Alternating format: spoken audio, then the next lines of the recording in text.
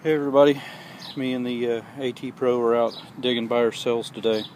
Uh, I uh, hit one little lot earlier, but uh, didn't find much, and so I come over to another spot that uh, is found. We found a few things at lately, and uh, this doesn't have any markings on it, but there's no doubt in my mind at all that that's silver.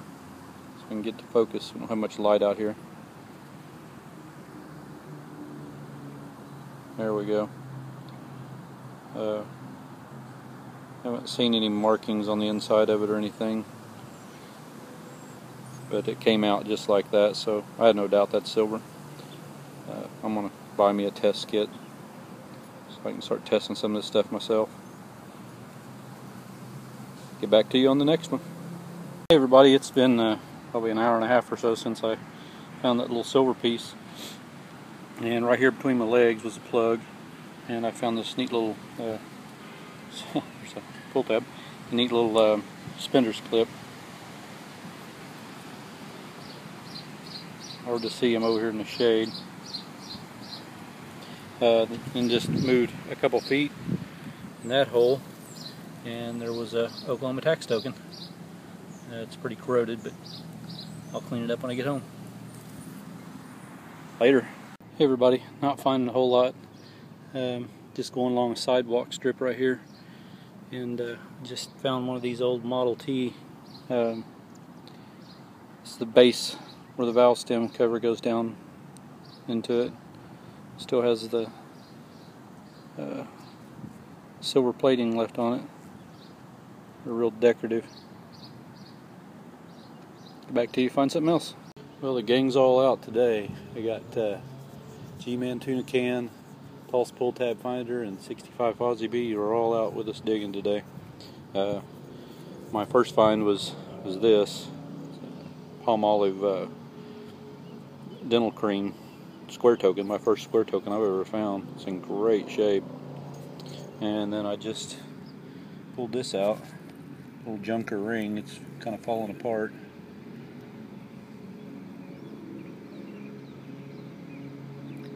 It's just a junker. Get back to you, find something else. Well, I closed up the hole with the junker ring in it and uh, scanned over it. You're supposed to do. And uh, this was in there. Uh, not sure what it says.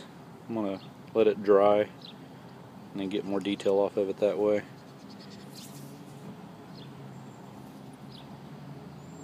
It looks like some sort of token.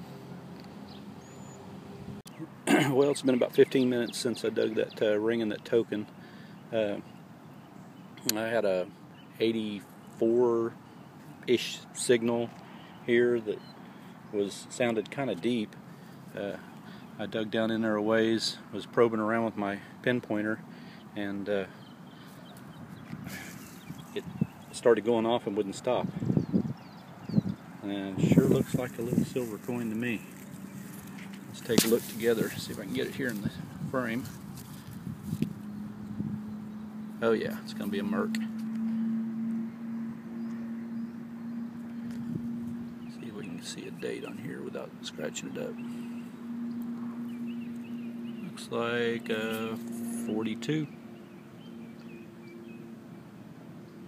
I'll clean her up and show you at home. Hey everybody, it's a little noisy with the traffic here. Uh, this is a different spot. Uh, been bulldozed and it's a lot of washout from going up a hill right here and come down. So I've been working this where the so we've had a lot of rain lately. I mean tons, and uh, so I was hitting this where it's washing out. And I believe I haven't picked it up yet. It was sitting just like that on the surface. I went over my detector and it was real loud. I'm pretty sure that's a wheat right on the surface. Yep, sure is. Cool. Surface wheat find. Get back to you, find something else. Hey everybody. Got out uh, once by myself and once with the guys this weekend and uh, did a little digging. Uh, didn't find a whole lot, but got a few things to show here.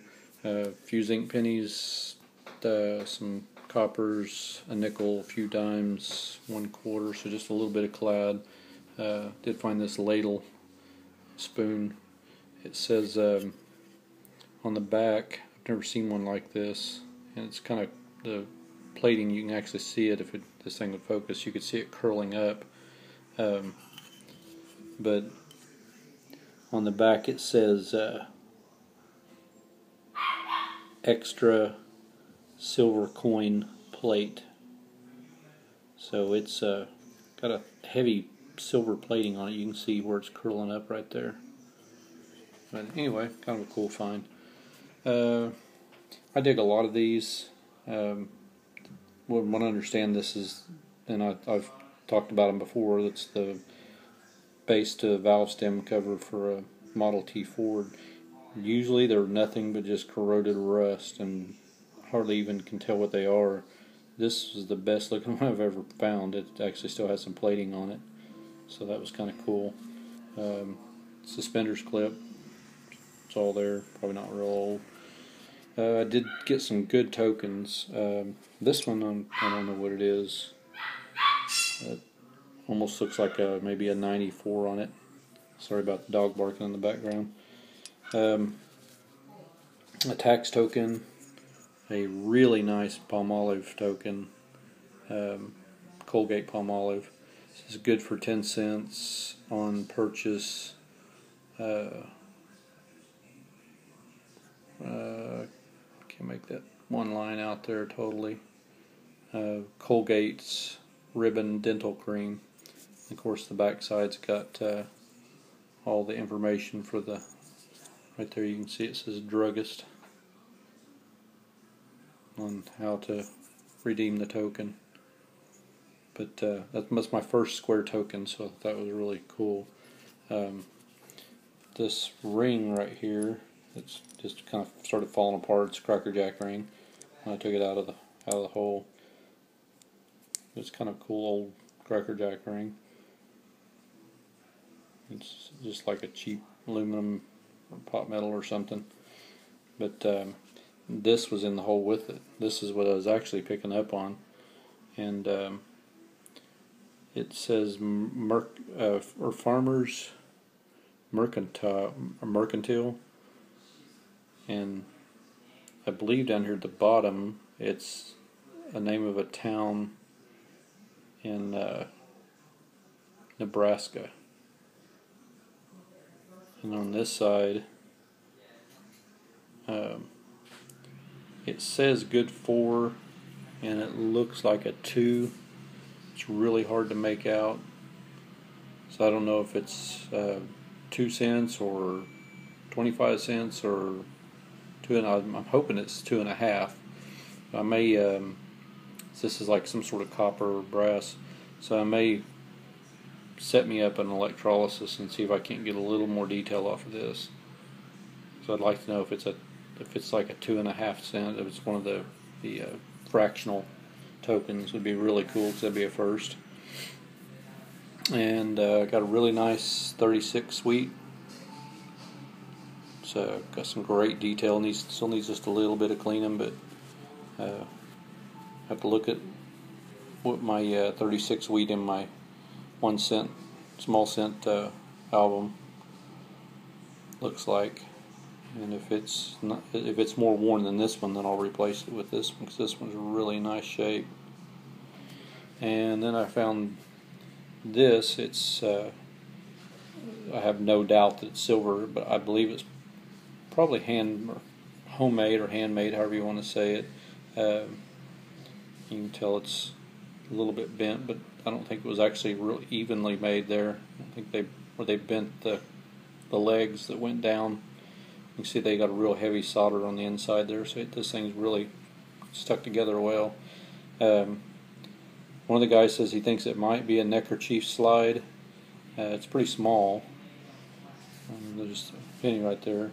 I'm thinking it could have been on the on a woman's belt this way, but it is definitely silver. It's not marked, but there's no doubt in my mind it's silver. And the guys all looked at it and they all said the same thing. And uh, as you saw, I got in my clips, I got uh, 142 Merc. That was the one that was stuck to the end of my my uh, pinpointer. That's kind of odd. I stuck that pinpointer in that hole, pulled it back out, and it was still going off. But I was real happy. It's the first silver coin I've gotten in a while. I've I found some silver, but not a silver coin. So happy with that. I'll uh, get back to you when I find some more. Everybody uh, have good luck and happy hunting.